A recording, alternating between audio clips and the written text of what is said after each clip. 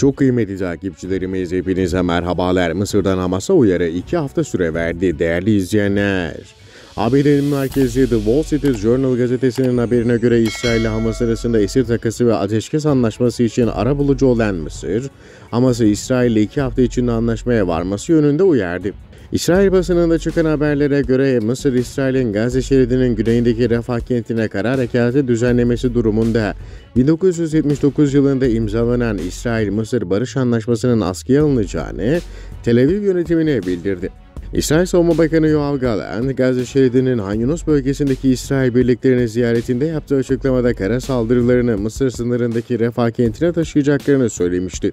İsrail Başbakanlık Ofisi'nden yapılan açıklamada Netanyahu'nun ordu ve güvenlik teşkilatında Gazze şeridinin güneyine saldırı düzenlenmesi ve buraya sığınmış yaklaşık 1,5 milyon Filistinlinin yerinden edilmesi için gerekli planın hazırlanması talimatını verdiği kaydedilmişti. Haberimizin sonuna geldik. Sizlerden kanalımıza abone olmanızı, videolarımızı beğenmenizi ve nokta dahi olsa yorum bırakmanızı rica ediyoruz. Bir sonraki haberde buluşmak üzere, hoşçakalın.